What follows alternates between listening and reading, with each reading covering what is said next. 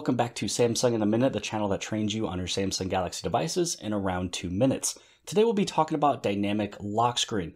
What exactly this does is you're able to select an image set to change the image on your lock screen each time you turn on the screen. So through here, you can see these five different categories. Right now it's selected as food. Let's say that we head over here into art. Let me first show you what it will do, then I'll show you how you're able to turn this on. So what'll happen is let's say that we go into the lock screen, you're gonna see this image here. And let's say that we go one more time to another time where your screen would turn on. Uh, let's turn this off, turn it back on. You can see that every single image is a new image inside of that set. Now, the other cool thing you're able to do is you can cycle through and just check out images, check out the art that comes along with this by swiping left.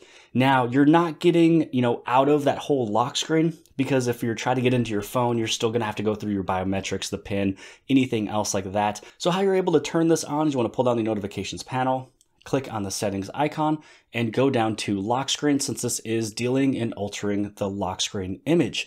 Then you want to go inside of wallpaper services. Now, if your Samsung phone does not show wallpaper services, it could be because this is a part of the latest update, uh, which is Android 10 running the Samsung One UI 2.0. So if you don't see this yet, then hopefully your phone will get that update and you'll also see it.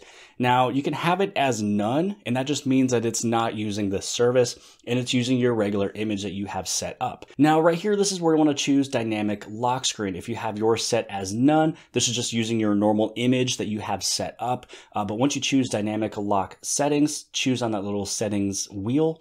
Then inside of here, you can select your categories, but you also have these two options here. So you might as well turn on the auto update. And you can also download these via your mobile data if you want. Kind of depends if you want to use your own data when you download these little sets of images. So as of now, I have art and food. Now the other three still has that little download arrow, which means that they have not been downloaded yet. So if you want to check out, let's say the pets, once you choose that option, it's going to download it. Then it's going to select it. You can only select one at a time. And all of these sets of images uh, update every two weeks, which is why it's asking you if you want to do this one through mobile data or not. Now, once you select yours, you'd be able to head right on back. And let's say that we want to check out some of the different pet images. So that means means every time that you go to your phone and you want to unlock your phone, it's going to show a new image. Uh, and so let's just scroll through some of these images here. So you can just kind of check out some of these just to check it out. If you're bored and you want to look at some animals, you're able to do that.